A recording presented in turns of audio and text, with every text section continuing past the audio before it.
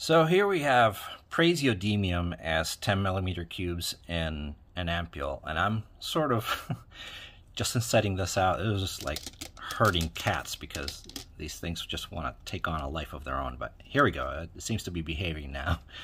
Uh, praseodymium is a beautiful metal uh, that has a very light yellow-green tone to it. You can see here.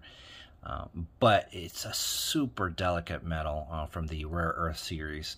And uh, if this ampule were to break the the metal would lose that luster within 24 hours. It would start you know get very dark and and after just a few days uh, it would just be completely dark. In fact the the normal way we used to sell these uh, in oil uh, was completely black. There's a, a, photo of it on the website, and that's how it used to stay once, uh, you know, in, in oil.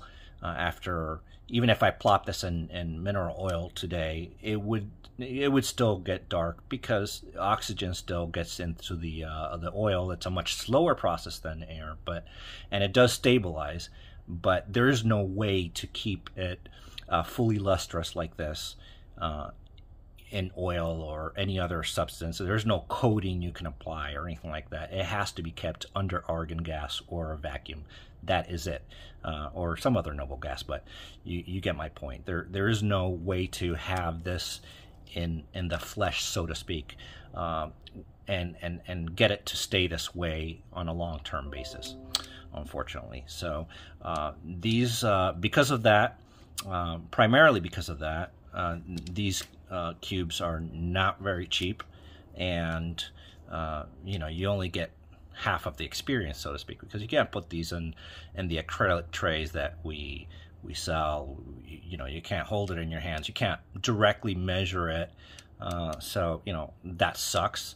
Uh, unless you you know you're you're wealthy and you can afford to buy these uh, by the bushel and, and just show somebody you know, hey let's crack one out and, and you can play with it. And sure for you know an hour or two it'll look exactly like this uh, but then it's downhill from there. You, even if you took it out and put it into a brand new ampule under argon it's too late you know. It, it may look like this for a while even in the new uh, ampule, but after a few days, you would see the damage that was done uh, on it, and uh, unfortunately, that's that's just nature. You know, we live in an atmosphere full of oxygen. What can you do?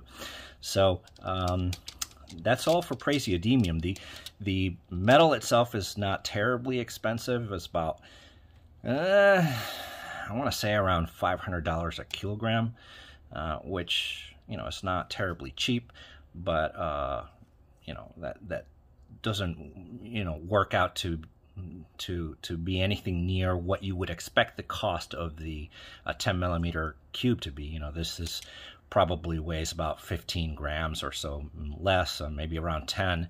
Uh, what am I saying? No, the density of praseodymium is less than 10 grams. So let's say anywhere from seven or I, I, can't I don't have that fact up in my head, but uh, whatever it is, around six or seven grams uh, of this, you're you're you're looking at a cost of uh, uh so that would work out to you know 20 bucks worth of material and, and yet you're paying multiple times that uh, because of the special treatment and, and, you know how hard it is to to get it you know perfectly cubic and then put it in the ampule and all that processing is really the reason why they're so expensive.